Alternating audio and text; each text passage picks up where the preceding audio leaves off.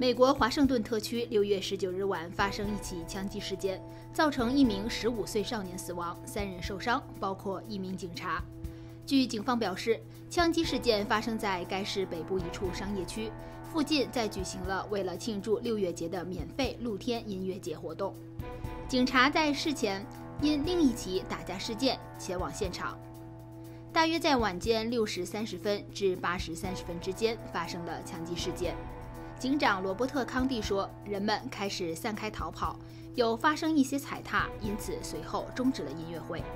警方封锁了事发地十四街和 U 街附近路段，缴获了几支非法枪支，至少一支有一个加长弹匣。受伤警官使用的枪支没有被找回。调查工作正在进行中。”目前没有关于嫌疑人的信息。华盛顿特区市长鲍瑟对死者表示哀悼，并表达了对枪支出现在人员密集公共区域的担忧。美国总统拜登六月二十日表示，他正在考虑建立汽油免税期，这可能会将每加仑油价最多降低十八点四美分，期待在本周末能有最终决定。据美联社报道。拜登政府正在寻找各种办法降低油价。拜登政府已经从美国战略储备中释放了大量石油，并扩大使用了乙醇混合汽油。此外，上周拜登政府还致信能源公司，敦促其提高炼油能力，但这些努力尚未显著降低价格。而拜登在二十日与前财长萨默斯交谈后重申，美国经济衰退并非不可避免。萨默斯认为，美国面临滞胀的可能性很大。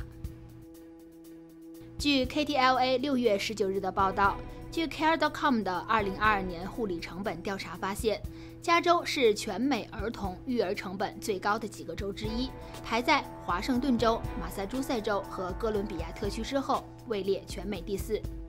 在加州，全职保姆的周薪是八百二十九美元。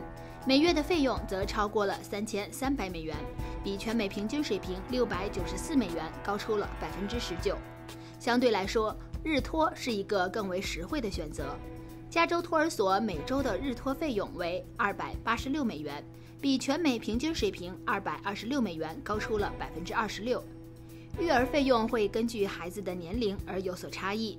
经济政策研究所最近的一项研究发现，在加州。照顾一个婴儿的平均一年费用为一万六千九百四十五美元，每个月约一千四百多美元。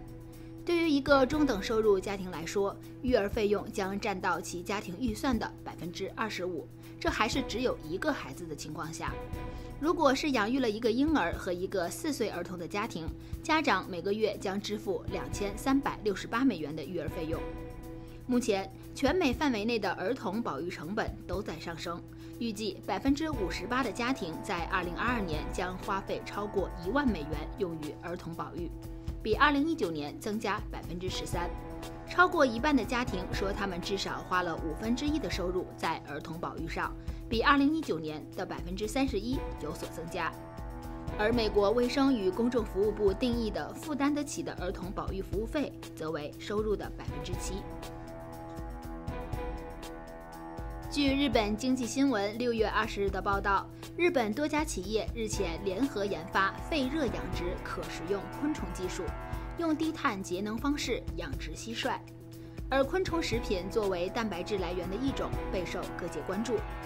日本能率协会综合研究所预测，到二零二五年，可食用昆虫的世界市场占有额将达到一千亿日元，为二零一九年的十四倍。日本研究还称，作为人类补充蛋白质的来源，蟋蟀比牛肉更实惠。与牛肉相比，若获取一克蛋白质，饲养蟋蟀所需的饵料和水量则显然更少，且对环境更加友好。停业逾两年、拥有四十六年历史的香港地标珍宝海鲜坊，由于未找到合适的营运者以及海事牌照即将到期。已于本月十四日移离香港。香港仔饮食集团六月二十日宣布，珍宝海鲜坊十八日下午行驶至南海西沙群岛附近水域时遇上风浪，船身入水开始清侧。负责航程的拖船公司经过尝试救援后不果，海鲜坊最终于十九日全面入水翻转。事件中未有任何船员受伤。集团解释，由于事发地点水深超过一千米，你进行打捞工程也非常困难，对海鲜坊的意外感到难过不舍。公司现正向拖船公司进一步了解事故详情。